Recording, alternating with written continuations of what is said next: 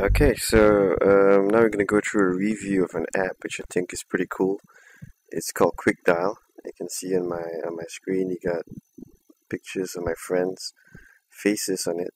Basically, it works uh, like your favorites list. So you can just tap on your friend's face and then you, should, you can either call or SMS or email. Okay, it's called Quickdial.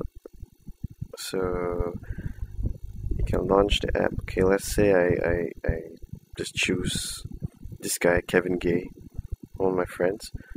Okay, so you just click on call. Oh yeah, you need uh, internet access, either Wi-Fi or 3G. Okay, click on the number, and then now you choose the photo. Okay, so I just select my photo, and then using the multi-touch, I'll zoom in on the area that um, I want to select. Okay, it's pretty irritating face he has.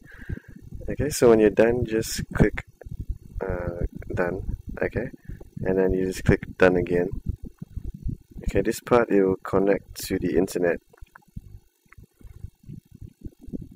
Okay, you, you should open up your Safari and then uh, you do some stuff, and then once it's loaded, can see the instructions at the bottom tap plus then add to home screen. Okay just click on the plus add to home screen. Okay then you can add in uh, whatever name name that you want. So just leave it as Kevin Gay and then just click add. And then on your phone you, sh you should see the icon appear okay um, pretty cool. Works as a shortcut.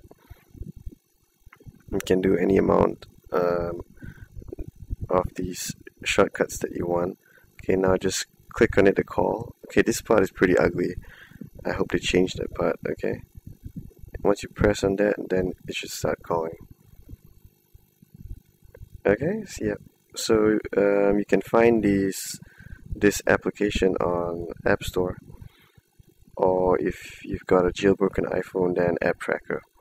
Okay, and thanks.